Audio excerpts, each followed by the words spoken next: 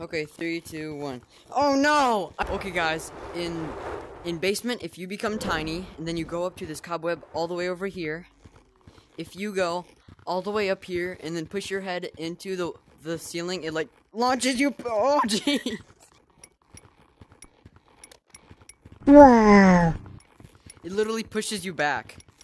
Oh jeez. Oh man.